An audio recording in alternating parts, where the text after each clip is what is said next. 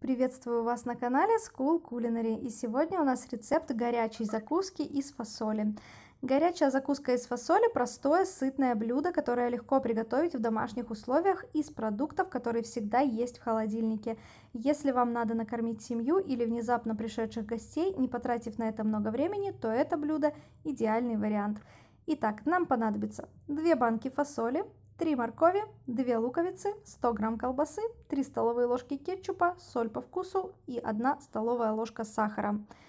Итак, приготовление. Лук и морковь моем и очищаем от кожуры. Лук мелко режем.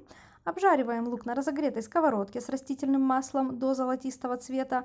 Морковь натираем на крупной терке. Добавляем морковь в сковородку к луку.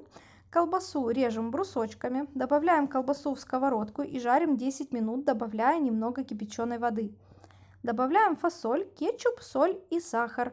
Выкладываем в салатницу. Наша горячая закуска из фасоли готова.